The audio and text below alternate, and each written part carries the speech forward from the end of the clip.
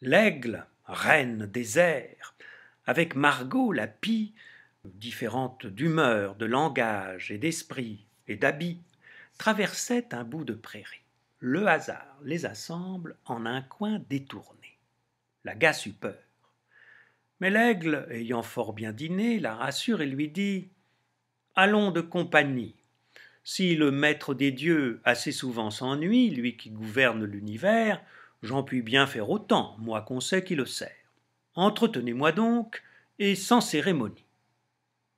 Caquet Bronbec alors de jaser au plus dru, sur ceci, sur cela, sur tout.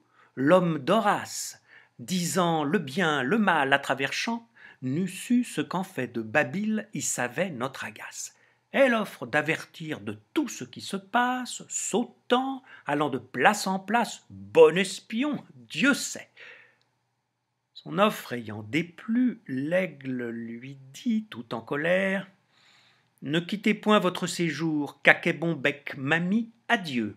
Je n'ai que faire d'une babillarde à ma cour, c'est un fort méchant caractère.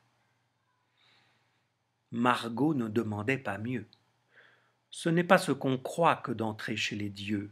Cet honneur a souvent de mortelles angoisses.